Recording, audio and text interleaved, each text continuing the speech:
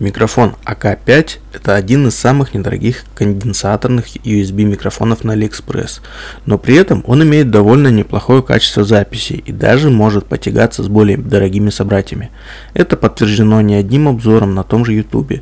Поэтому, насмотревшись видеообзоров, я решил заказать себе именно эту модель так как в первую очередь меня волновал именно вопрос цены. Ну и попользовавшись некоторое время данным микрофоном, могу сказать, что он своих денег однозначно стоит, но обо всем по порядку. Начинать обзор следует, естественно, с характеристик, поэтому привожу их ниже. Итак, микрофон АК5. Материал корпуса металл плюс АБС. Тип датчика электронный конденсатор. Диапазон частот от 192 Гц до 18 кГц. Чувствительность минус 47 дБ. Частота дискретизации 192 кГц 24 бита. Микрофон кардиодный. Два звуковых канала. Входное напряжение питания 5 вольт. Длина аудиокабеля 1,2 метра. Вес 450 грамм. Я лично взял себе комплектацию сразу со стойкой и поп-фильтром, чтобы потом не докупать все это дополнительно. Но судя по отзывам, многим достаточно и самой простой комплектации, в которой есть только микрофон, USB шнур и поганенький штативчик на стол. Тут уж кому что нужно. Стойка микрофона сделана из металла.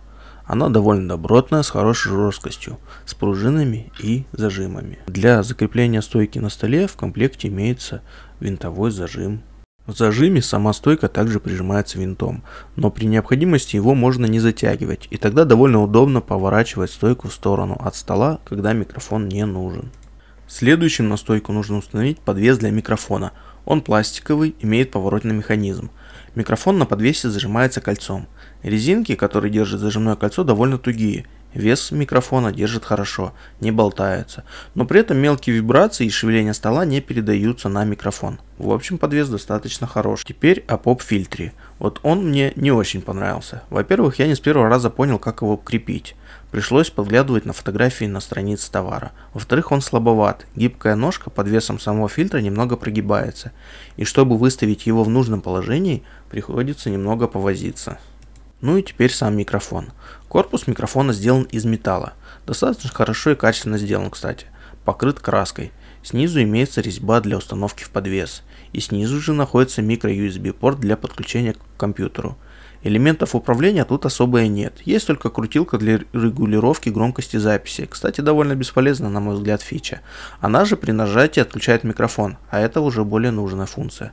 Есть светодиод индикатор работы. Синий микрофон активен, красный микрофон отключен. И есть порт 3,5 мм для подключения наушников для прослушивания записи. Дополнительно в комплекте с микрофоном имеется поролоновая насадка. Естественно, я натянул ее на микрофон. Так вот в сборе выглядит вся конструкция. После сборки можно подключать микрофон и тестировать. Я установил стойку на столе, просто зажав ее винтовым зажимом. У меня столешница сделана из обычного ЛДСП, поэтому проблем с установкой не возникло. Все держится хорошо и добротно. Стойка складывается, раскладывается, нагибается, крутится. Можно поставить ее перед лицом, а когда микрофон не нужен, его спокойно можно отодвинуть и поднять повыше, чтобы не мешался.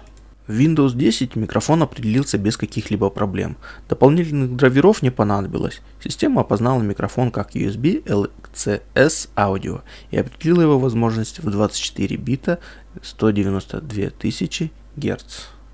Данный видеообзор записан на этот же микрофон, поэтому вы легко можете оценить качество его записи. Также микрофон без проблем работает с любым телефоном через OTG адаптер – ну и небольшие выводы от себя. Мне микрофон понравился. Звук голоса записывается достаточно хорошо. Лишние шумы, конечно, тоже есть, но не критичные и легко убираются в том же Audacity. Голос получается достаточно натуральным, без лишних оттенков. Полученный материал затем можно уже редактировать, не затрачивая усилий на улучшение и чистку, что очень и очень хорошо. Для кого подойдет такой микрофон? Ну, конечно же, для начинающих, да и не только начинающих ютуберов, которые хотят за небольшой бюджет улучшить качество своих роликов, наговорить озвучку, немного обработать и наложить на видео. Также подойдет для записи подкастов. Качество речи и чувствительность микрофона достаточно для этого. Для записи аудиокниг. Конечно же, для начинающих аудиочитальщиков этот микрофон подойдет отлично. Для стримеров. Звук с такого микрофона будет однозначно лучше, чем с микрофона петельки или микрофона на наушниках, даже если наушники игровые и дорогие. Для геймеров хорошая громкая и четкая речь в сетевых играх никогда не помешает. Также я в отзывах нашел информацию, что этот микрофон отлично работает с PS4, но этого я не проверял, так как я не играю в онлайн игры на своей PS4, и мне просто не с кем проверить. В целом же я смело могу рекомендовать данный микрофон к покупке. Он недорогой, но стоит каждого доллара, потраченного на него. Это отличный вариант для начинающих, а спустя уже время и при необходимости можно будет купить что-то более дорогое и качественное, когда уже будет понимание того, что требуется, и будет позволять бюджет.